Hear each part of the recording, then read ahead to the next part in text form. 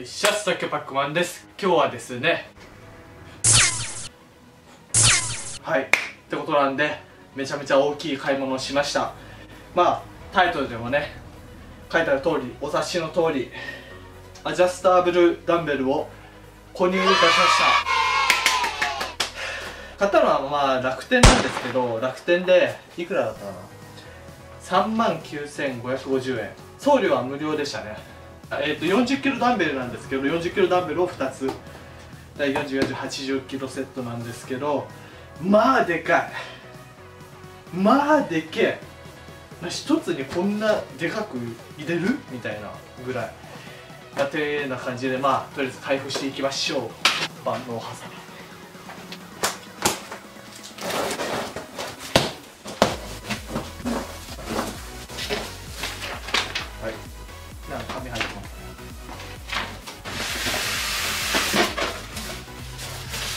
発泡スチロールが入ってるからでけんだ。はいこんな感じになってますね。全部出していきます。何これ？はい。ちょっとちょっと見てこれ。ひどいこれは。なんかすげえ汚れてんですけど。なんかが溶けたような。発泡スチロールが溶けたのかな？どういうこと？はいもう一個回復して。こっちも紙入ってますね。まあ説明書？みたいだと思うんですけど全部英語。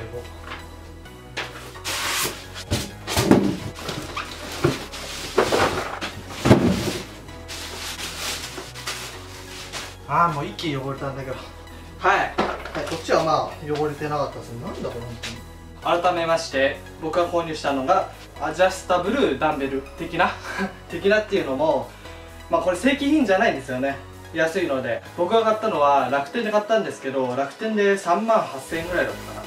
ぐらいで買いました。40キロ2つセット80キロセットで、えー、3万8000円。あとはねアマゾンとかにも売ってたんですけど予約販売的な感じで多分予約してから製造みたいな感じなんでねこっちは手取り早かったので購入しました。で正規品買うと多分これの倍ぐらいするんですよねおそらく。多分8万とかもうちょっとするのかなわかんないけど。あんまりね高いの買えないんでね今回安いの買ったんですけどあとはね耐久性とかそういうのが、まあ、問題になってくると思うんですけど。あとはあれですねまあダンベルとかプレートとか購入した重さですよね。重さが全部合ってるのかどうかちょっと確かめてみたいと思います。はい。はいってことは測ってみたいと思います。まあ、ダンベルがね2つあるのでまあ A 君と B 君で名付けましょうか。まずマックス重量の 40kg で。A から。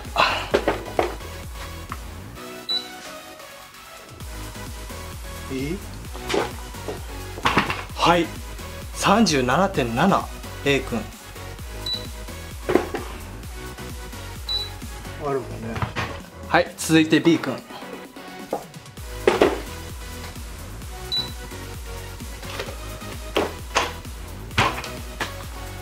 37.5 40キロないやん1個。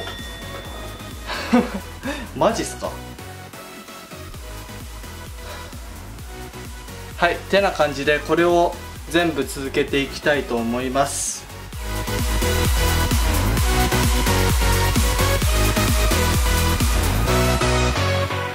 はいってな感じで、えー、と最初の40キロだけ測ってちょっと誤差があまりにもあったのでねあまりにもねえ？っもうちょっとショックすぎて。ショックっていうかまあ安いからしょうがないんですけどね。なのでねあとはなんかねトルキー失せちゃった。もう省略してまあやってみました。一応こんな感じですね。で見るとねやっぱ高重量につれてあのー、差が激しいですね。3キロぐらい。約。で重量が下がってくるごとにだんだん落ち着いてくるんだけど1キロ2キロとかでまあでも僕はね正直ね40キロあってほしかったんですよね。やっぱダンベル40キロでのダンベルプレスがやりたかったから37じゃね正直40キロあってほしかったですね。まあそんなこと言うなら正規品買えようって話になるんでね。まあこんな感じでまあ参考になればなと思います。これで。もしかしたら、ね、買うものによってはその誤差がまたばらつきがあると思いますね。もしかしたら運が良ければ全然もうぴったりだったり。また俺みたいに3キロとかまあ悪くよくて 1. 何キロの誤差とかかもしれないですね。まあ一応ねこれで参考になればなと思います。まあてな感じでね、まあ、参考になればなと思いますこれで。まあ一応ね僕のその買ったリンクは貼っときます。あと Amazon の方にもあれ安い方も載っけておきますんで、まあ、よかったらチェックしてみてください。またちょっと実践でやってみましょう。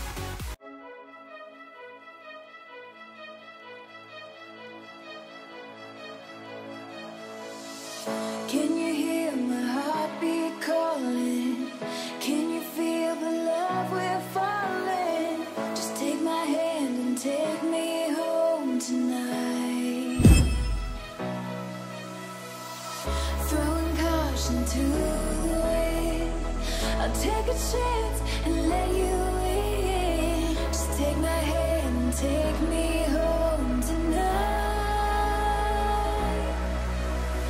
We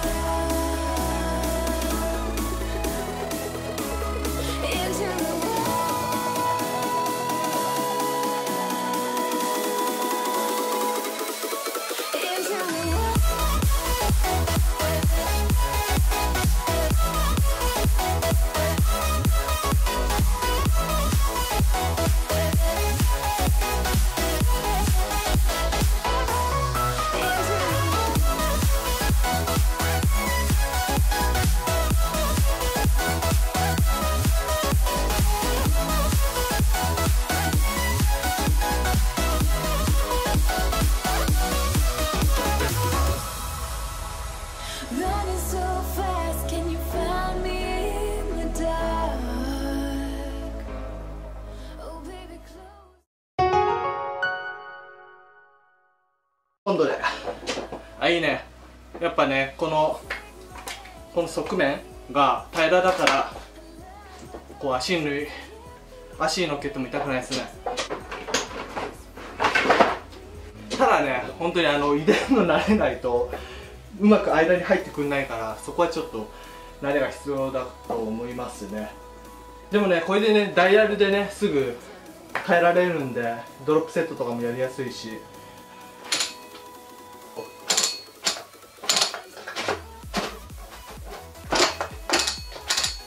でもね。この回してる感じはねあのー、スムーズではないねなんか。ちょっとね本当にああ安いんだなっていう感じの回しごたえ？なんだろうね。ちょっと怖いねこのやっぱダあのダイヤルのダイヤルの部分は。わかりますかね？ちょっとね何ほんとこれ？なんか中ではガチャガチャ言うんだけどその回してる感じはねなんか本当にああなんか安っぽい感じがするってほらこんなちょっとすってる感じ？はい。じゃあ40キロいきます。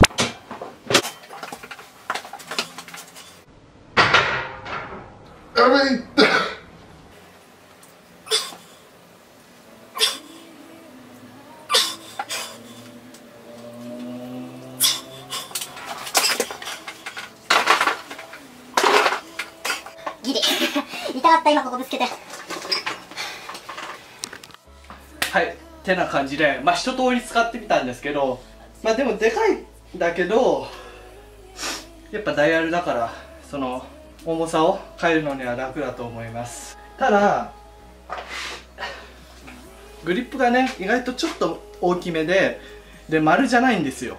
なんかね四角形。丸っこいちょっと四角形なんですよね。なんか形状的なグリップのとこが。だからねなんで四角状になってるのかな。でレビューとかも見ても結構グリップが太いっていう話とその四角いっていうのでちょっと心配だったんですけどまあ太さは別に俺手でかい方だからまあ問題なかったんですけどやっぱ四角いから痛い。痛いっすね。やっぱね構長いんでね。腕のトレーニングとかは不向きかもしれないですね。こうオルタネートカールとかやるときにやっぱぶつかる。からちょっとやりにくいかもしれないですね。腕のトレーニングはちょっと不向きかもしれないです。だからこのダンベルはそのあれですね肩とかレイズ系とかショーダープレスとかあとはダンベルプレスとかプレス系ですね。主に役に立つのは。あとはローイングとかね。で高重量でもできるから4 0キロなんてね。多分相当なマッチョってかその力持ちじゃなければ俺みたいなもう全然4 0キロでもへばってるから全然4 0キロでまあとりあえず今やっていけるんでね。まあ高重量もっとやってる人にとってはまあ4 0キロだと物足りないかもしれないですけどまあ中級者向けにはすごいいいと思います。はい。まあ値段が値段だからあとは耐久性とかが一番まあ心配なところがありますかね。特にダイヤの部分とか。中でこう破損したりし破損とかしたらもう使えなくなりますからね。このダあのダイヤルダイヤル式のダンベルに関しては。その辺はちょっと心配なところですね。だから本当にね普通にメもう大手のメーカーさんで高いの買った方が間違いないんですけどやっぱ値段が値段だからね、まあ、あとはね後にね使ってみての、まあ、レビューもまたしてみたいと思いますね。今回はまあ開封してみてちょっとやってみたよ的な感じになります。結構ねやっぱホームジホームトレーニングの方にはすごい必見なアイテムだと思いますので一応概要欄に一応リンク貼っておきますので気になった方チェックしてみてください。本当にねこれで、ね、結構トレーニング幅とか広がりますと思いますからね。コスパとか考えたら多分いいかもしれないですね。普通のダンベルを何個も集めるよりかはいいのかなと思います。はい。てな感じで今日の動画は竹パックマンがアジャストダンベルを買ってみたっていう動画です。まあこれが良かったら高評価とコメントよろしくお願いします。あとはチャンネル登録もお願いします。あとはインスタグラムもねやってますので登録フォローよろしくお願いします。はい。です。ではまた。